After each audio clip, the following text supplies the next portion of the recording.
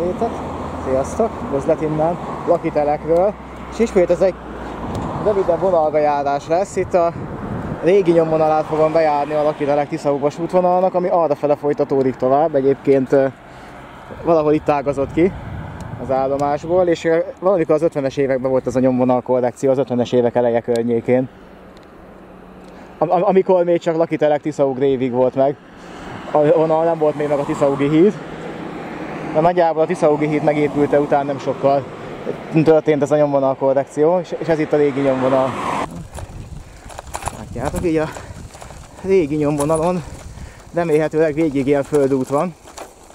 És egyébként nagyjából a termofalmi falvágány kiágazásáig tart ez a nyomvonal. Egyszer már megpróbáltam ezt bejárni, csak akkor nem volt még térképem, és rossz irányba indultam el, és nem találtam meg. Hát most még van 50 percem a vonatig, addig szerintem meg lesz oda-vissza. Mi tárgyi emlék annak, hogy itt vasútvonal volt. Ez a régi távíró pózna. Egyébként kavicsájból is maradt itt egy-két dolog. Annak, hát ez, egyébként itt ez egy egyvágányú szakasz volt. És itt, itt nagyon átjön van, a távíró póznák megmaradtak. Az is lehet, hogy szelvénykövet is fogok találni. És jön az erdei szakasz. Ez nem semmi, de hát mondom, itt ment régen a vasútvonal. És innen valahogy eltűntek a távírópóznák is. Eddig volt még vagy négy. Ah, itt van, egy, egy mégiscsak megvan.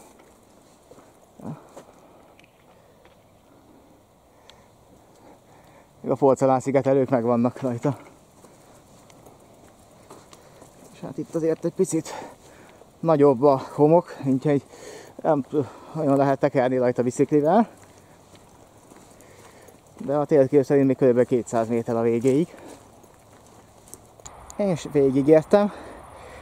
Itt már a, a mostani nyomvonalon folytatódott tovább, ennyi volt a régi nyomvonal, és a korrekció az itt volt, ez volt, és itt, itt ment a régi nyomvonal, de majd visszafele még videózok róla. Meg majd csinálok fényképeket is, mert az elmaradt. És mint a betegeskedne a fényképező, vagy inkább az objektív rajta, így nehezen találja a fókuszt. Pedig eddig tökéletesen működött. Egyébként a töltés van meg, meg néhány távíró pózna, ami mutatja, hogy merre ment a nyomvonal. És hát igen, a távíró póznák azok a legegyértelműbb bizonyítékok arra, hogy tényleg itt ment a vonal. Meg egyébként itt látszik is, hogy, hogy, hogy bizony ez, ez volt a töltés. 284-es szelvénykő.